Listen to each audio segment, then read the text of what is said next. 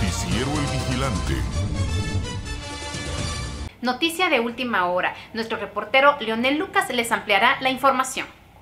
Este accidente de tránsito se registró a la altura del kilómetro 102 de la ruta CA2, jurisdicción de Aldea La Libertad Tacisco, Santa Rosa.